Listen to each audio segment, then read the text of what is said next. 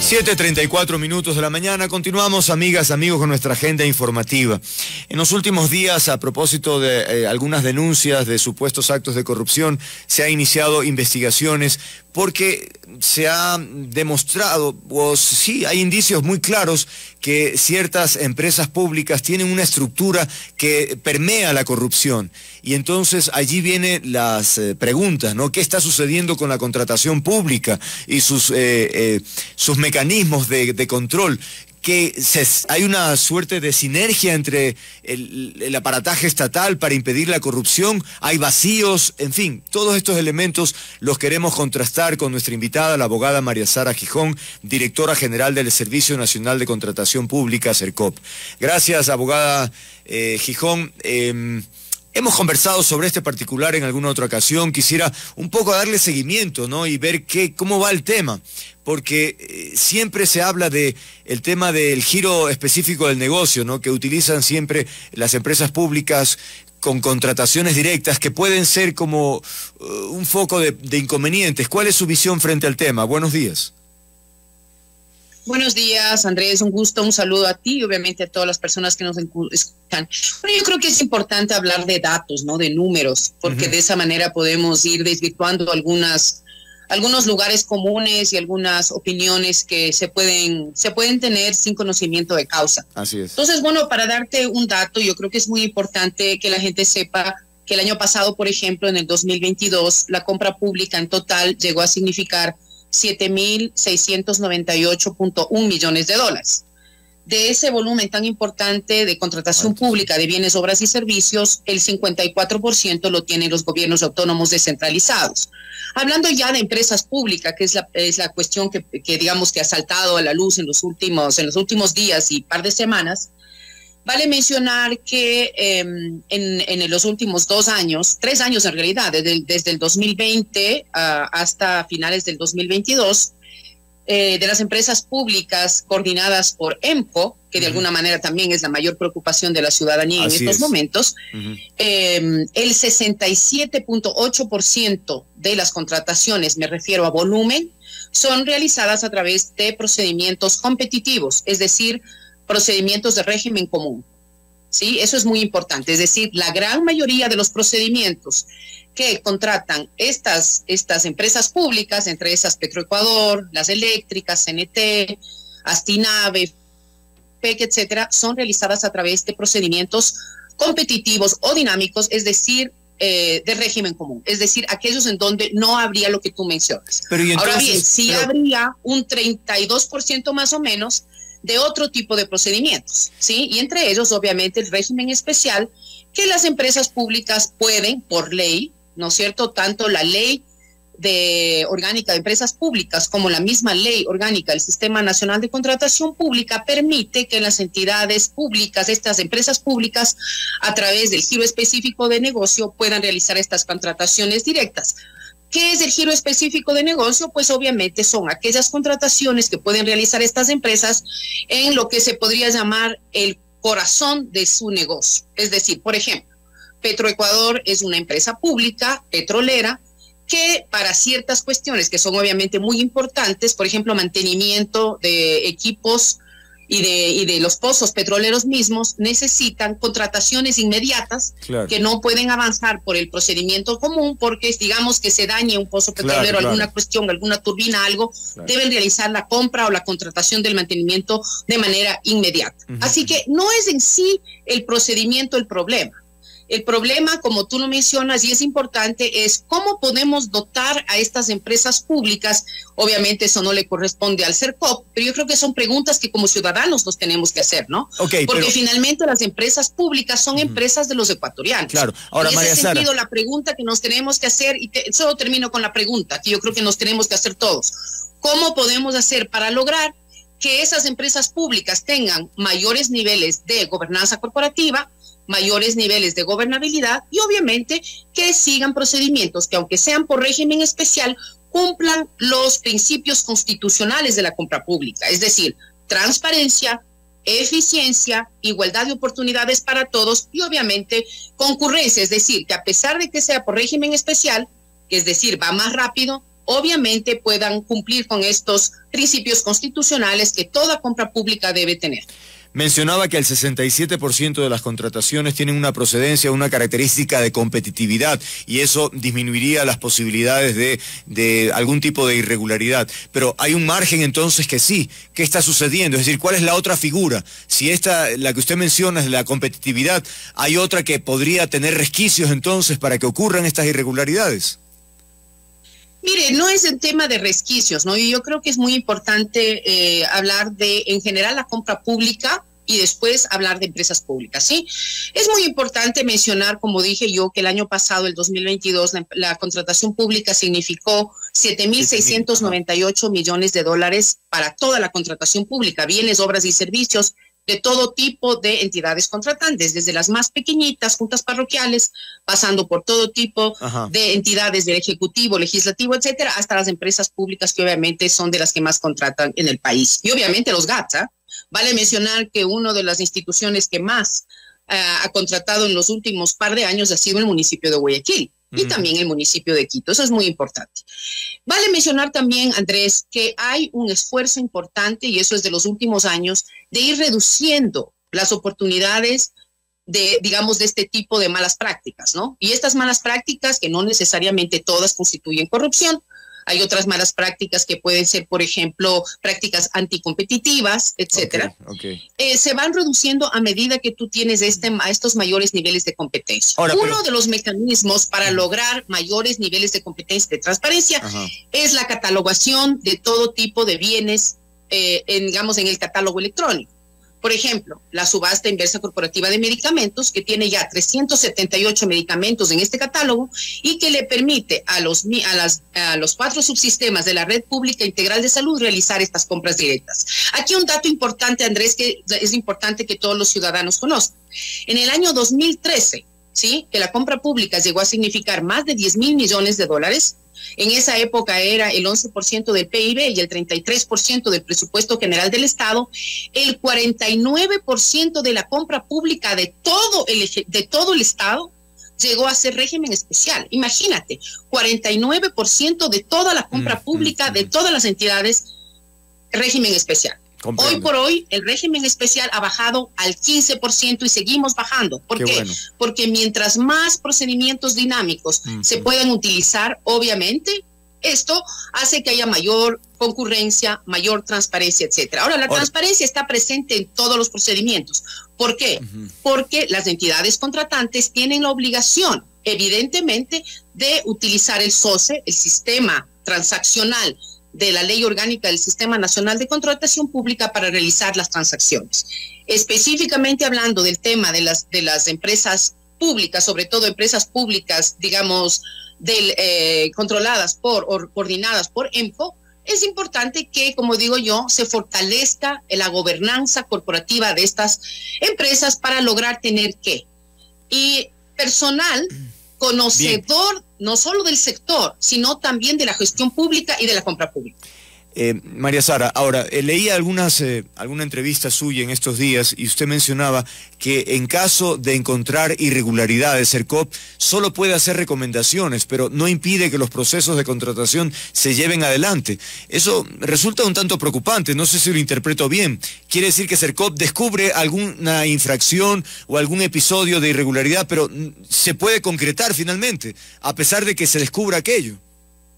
A ver, yo aclaro esto, ¿no? El tema es que la ley orgánica del Sistema Nacional de Contratación Pública es una ley y nosotros, todos los actores del sistema, no podemos irnos contra la ley. Claro. Entonces, cuando nosotros identificamos que pudieran haber hallazgos, que es como se llama, ¿no es cierto? Es decir, algunos problemas. De acuerdo. En algún procedimiento de contratación, nosotros como ente rector de la compra pública podemos entrar a monitorear, ¿no es cierto? Este procedimiento, ya sea por... Eh, por cuestiones, digamos, de alertas tempranas que saltan en la misma matriz de riesgos que nosotros tenemos o en su defecto por reclamaciones administrativas. Cuando nosotros iniciamos este monitoreo, podemos identificar estos hallazgos, es decir, problemas en el procedimiento. ¿Qué hacemos nosotros como ente rector? Nosotros corremos traslado a la entidad contratante, que es la responsable de la compra pública. Esto yo creo que es muy importante que todo el mundo tenga claro. Quienes son responsables de la contratación pública y de los procedimientos son las entidades contratantes. En caso de que nosotros, digamos, eh, enviemos esta, esta identificación de hallazgos y las entidades contratantes no logren subsanar esos hallazgos o justificar tal o cual problema, nosotros enviamos un oficio, ¿sí? En base a los artículos correspondientes de la ley, indicando que la entidad contratante mm, recomendamos, obviamente, que declare desierto, ¿no? La recomendación es de declaratoria de desierto. Ahora bien, y es importante, la ley dice, esa recomendación del CERCOP es de obligatorio cumplimiento, obligatorio cumplimiento, ¿sí? Esto es muy importante. Sin, y la gran mayoría de entidades contratantes hacen caso a esas recomendaciones. ¿Sí? Esto es muy importante. Podría haber, y esto lo digo yo, podría haber alguna entidad contratante que decida continuar con el procedimiento a pesar de la recomendación. La verdad, esto se da en muy pocos casos. Pero en el caso de que esto suceda, nosotros, como ente rector, informamos a la Contraloría General del Estado. Y esto es muy importante porque la ley de contratación pública a nosotros como ente rector de la compra pública nos permite hacer algo que es muy importante, que son las sanciones administrativas. nosotros podemos sancionar administrativamente a los proveedores del Estado. ¿Quién es el juez de cuentas de las entidades contratantes, es decir, de, de, las entidades del sector público? La Contraloría General del Estado. De acuerdo. Y en caso de que hubiera un delito, porque eso ya es un tema que entra en el ámbito de lo penal, quien debe hacer su trabajo de indagación y de identificación de posibles actos de corrupción, eh, indicando inclusive si es que hubiera indicios de responsabilidad penal y seguir con los juicios, es la Fiscalía General del Estado. Okay, tengo una Cada una de las instituciones en base a sus competencias, estimado Andrés. Ok, eh, tengo una pregunta del público. Lenin Montes dice, ¿Cómo se puede evitar el sobreprecio en las compras públicas? Si al inicio, al llegar tres cotizaciones, por ejemplo, eh, tienen sobreprecio y al hacer el proceso todo sería bajo la ley. Es decir, como que no entiende que él cree que al inicio se nota el sobreprecio, pero luego pues todo está bajo la ley. ¿Eso qué sentido tiene? Bueno, muy buena pregunta, Andrés, y efectivamente nosotros, junto con eh, otras entidades de control del Estado, Estamos trabajando en lo que se llama el Subsistema Nacional de Control. Este Subsistema Nacional de Control tiene a varios miembros, ¿no? Entre esos la Contraloría, la Fiscalía, el CERCOP, el SRI. Y esto es muy importante para que los ciudadanos sepan.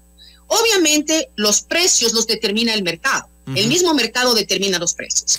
Nosotros hemos hecho algo muy importante y lo vamos a hacer, eh, digamos, se está, se está generando lo que se llama un banco de precios que es muy importante tenerlo. ¿Por qué? Por lo que menciona el ciudadano, Lenin, no me acuerdo el apellido, ¿no? Montes. Él menciona este tema de los precios referenciales con los cuales parte cualquier tipo de procedimiento.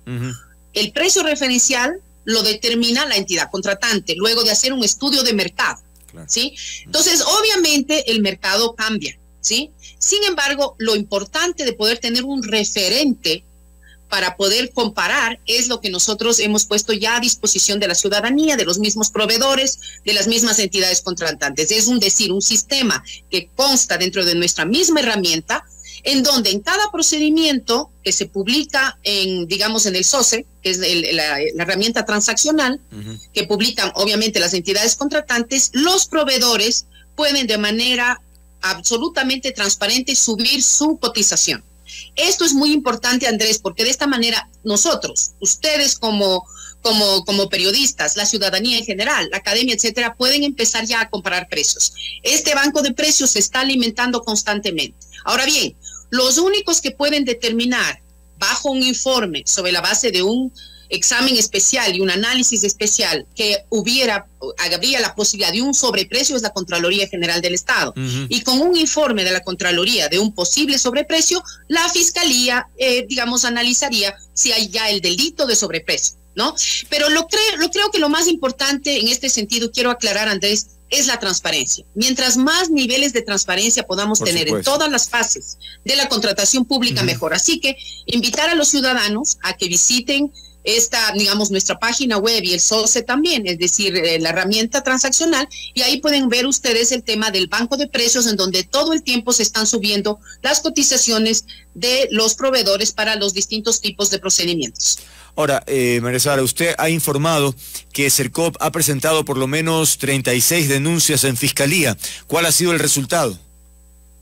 De hecho, son 36, ¿no? Son exactamente 36 denuncias presentadas en el 2022. De hecho, este mes de febrero que estamos ya a cortas, presentaré, si no me equivoco, cinco o seis más.